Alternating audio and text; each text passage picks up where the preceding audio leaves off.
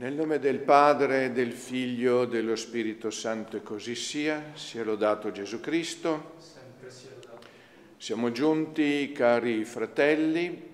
alla domenica nell'ottava della Ascensione e la memoria in questa messa è proprio quella della Ascensione, quindi della ottava. Siamo anche nel periodo della novena alla festa di Pentecoste che eh, cadrà eh, domenica prossima. E ricordo che la vigilia è giorno di astinenza e digiuno. Cade poi anche oggi, come avrò modo di dire in questa omelia, la festa di Maria Ausiliatrice. Purtroppo in questa diocesi di Casale non è nel calendario, e tuttavia eh, è però nel nostro pensiero e nelle nostre preghiere e anche la patrona della casa delle nostre religiose, alle quali va il nostro augurio. Naturalmente il cuore è pieno di dolore al pensare che benché si possa già celebrare in pubblico, come facciamo già in alcune località dove abbiamo ripreso il nostro apostolato più o meno normale,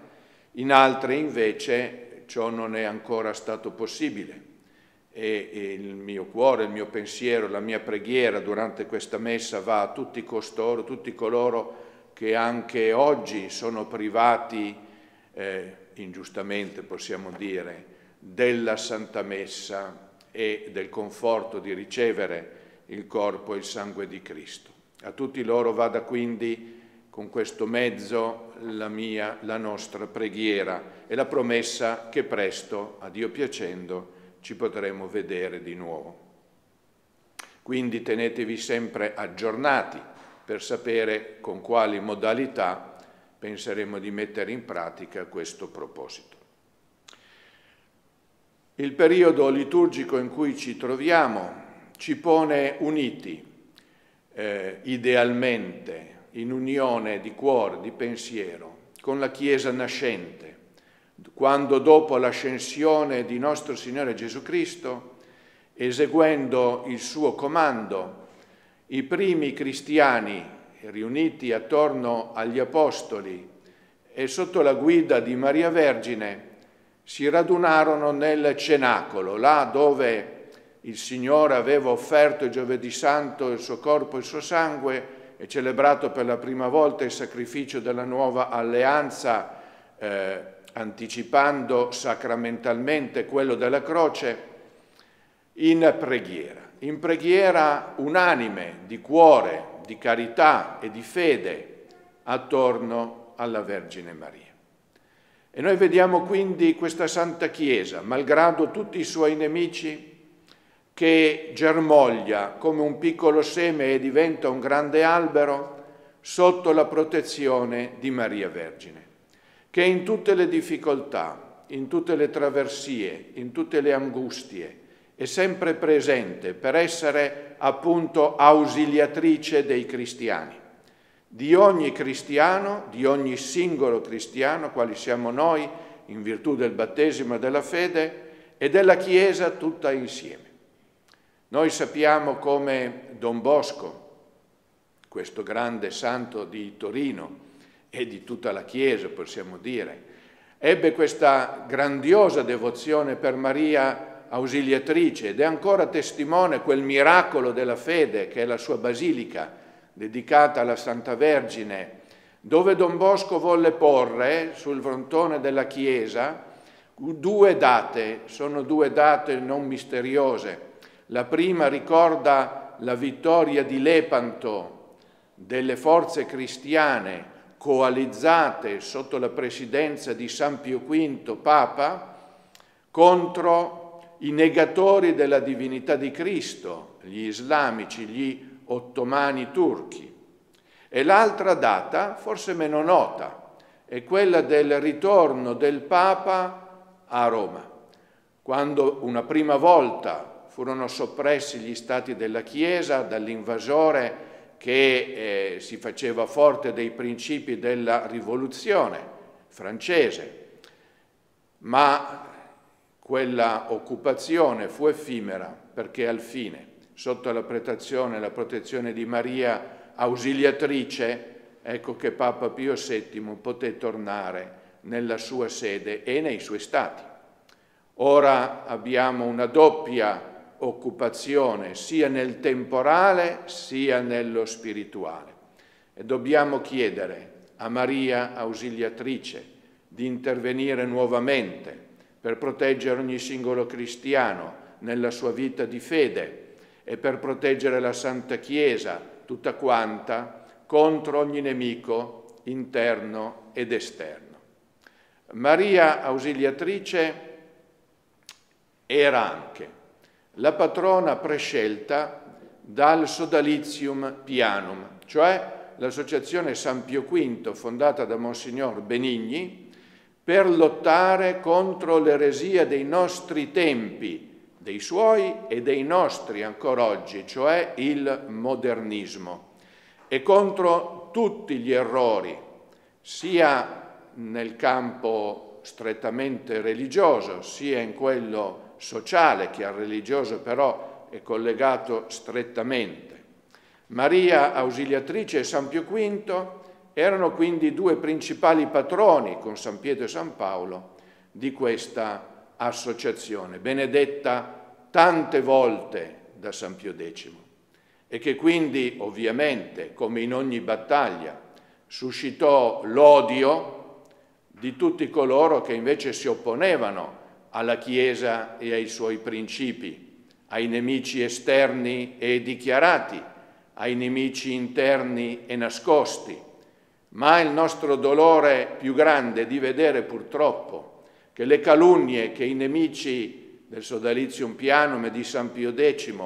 rivolgevano a loro nei tempi passati sono ripetute oggi da alcuni che si dicono e dovrebbero essere tradizionalisti prendendo i medesimi argomenti dal nemico e dai loro scritti per diffamare, trascinare nel fango la memoria di questi fedeli collaboratori di San Pio X e emuli dell'opera di San Pio V, che sotto la protezione di Maria Ausiliatrice non hanno avuto timore di eh, rinunciare a ogni cosa e prima di tutto alla buona fama, per poter difendere strenuamente e senza compromessi la verità. Lo ripeto, è per me e per noi un grandissimo dolore. Come un grandissimo dolore aver visto recentemente, è stato sulle cronache commentato ampiamente da tutti, vedere accolte con grandi feste, certo ci si rallegra se una vita è risparmiata, una povera persona che in circostanze certamente difficili ha però rinnegato la fede. E allora il pensiero viene a tutti coloro che, specie in quei paesi che sono sotto la, la dominazione islamica, hanno invece sparso e spargono ancora oggi il loro sangue per la fede. Allora, cari fedeli, come accogliamo questi fatti anche noi? Pensiamo che la Chiesa nascente, secondo le parole di Gesù nell'ultima cena, queste parole che vi ho letto nel passo del Vangelo di oggi, nasce nella persecuzione. E dice il Signore, vi cacceranno dalle sinagoghe. E l'ora viene in, tu, in cui tutti coloro che vi uccideranno lo faranno pensando di rendere onore a Dio. Ma questo lo fanno perché non conoscono né il Padre né me. Ecco, vedete, molte volte si pensa che coloro che perseguitano la Chiesa, che la combattono, che negano le verità della nostra santa fede, lo fanno per ignoranza e per il fatto stesso senza alcuna colpa. È vero che a volte l'ignoranza, quando è invincibile, cioè quando non è una colpa, non è colpevole, scusa dal peccato. Ma è anche vero però che molte volte l'ignoranza è colpevole Infatti dice Gesù, coloro che vi perseguiteranno, cioè la sinagoga, lo faranno pensando di rendere onore e culto a Dio, ma questo lo fanno perché non conoscono e non vogliono conoscere né il Padre né me, perché odiano sia il Padre che me. Mi hanno odiato, dice Gesù, senza motivo. E quindi molte volte l'ignoranza di tanti, sia nella fede e conseguentemente anche nella morale, è colpevole, perché è dovuta al fatto che non si è voluta conoscere la verità, che si sono chiusi gli occhi di fronte alla verità. Ma se l'ignoranza di tanti è colpevole, ancora di più è colpevole per coloro che sono stati battezzati, che sono stati educati nella fede e che poi l'hanno abbandonata e trascurata. Se più facilmente ci può essere una giustificazione per coloro che eh, sono stati cresciuti lontano dai principi della fede, e invece questo non so veramente come si può trovarlo nei confronti di coloro che fin dall'infanzia sono stati nutriti con i sacramenti, con la fede, con la dottrina, con la dolce pensiero di Gesù Cristo e della sua madre e poi hanno calpestato tutto ciò. Cari fedeli, anche noi, anche ciascuno di noi, deve lottare non solo contro i nemici esterni della fede, che oggi sono sempre più numerosi, ed essere pronto per questo anche a dare la propria vita se fosse il caso. Ma dobbiamo lottare, e questo è più insidioso e più difficile, con un nemico occulto che siamo noi stessi. Infatti le nostre debolezze, le nostre fragilità, le nostre miserie, le sequele del peccato originale, le sequele dei nostri peccati attuali che lasciano anche dopo il perdono le proprie conseguenze, le proprie abitudini cattive, sono un nemico nascosto e insidioso in ciascuno di noi, per non parlare delle tentazioni del demonio, del mondo, della carne, della concupiscenza degli occhi, della superbia della vita di cui parla la Sacra Scrittura. Ebbene, cari fratelli, in questa lotta spirituale, più importante ancora di una battaglia materiale, abbiamo una ausiliatrice, che è la Vergine Maria. Ricorriamo sempre alla Madonna, alla Madre di Dio, a colei che ha stretto tra le sue braccia il bambino Gesù. E troveremo tramite lei, per mezzo di lei, questa fede nella divinità di Cristo, nella sua santa umanità, nel mistero dell'incarnazione, questo grande amore per Gesù e questo grande odio per il peccato e il serpente infernale e di, la, di tutta la discendenza di questo serpente. E infine, per non trattenermi troppo, vorrei, prima di proclamare la nostra fede nel credo, prima di offrire e immolare il sacrificio di nostro Signore, ancora una volta vittima per noi, che ci applica i metodi della passione, vorrei dire con voi alcune preghiere che riguardano appunto Maria ausiliatrice ed innanzitutto la colletta della sua messa propria di oggi. O Dio, onnipotente e misericordioso, che a difesa del popolo cristiano hai mirabilmente stabilito nella Beatissima Vergine un continuo aiuto, concedici propizio, che combattendo in vita, muniti di tale scudo, possiamo in morte riportare vittoria dal maligno nemico. Abbiamo poi la preghiera fraterna dei membri del Sodalizium Piano, anche oggi, anche noi dobbiamo essere fraternamente uniti in una grande carità di cui parla San Pietro nell'epistola di oggi, proprio perché abbiamo i medesimi ideali e la medesima fede. Gesù Cristo, nostro Signore e Redentore, ti supplichiamo per il trionfo della tua santa causa contro i suoi nemici e falsi amici che tu voglia raggruppare i suoi fedeli, combattenti la buona battaglia dispersi per il mondo, affinché si co- conoscano, si accordino nell'animo e nell'opera. Degnati fornire loro i mezzi materiali e morali necessari ed opportuni a tale scopo.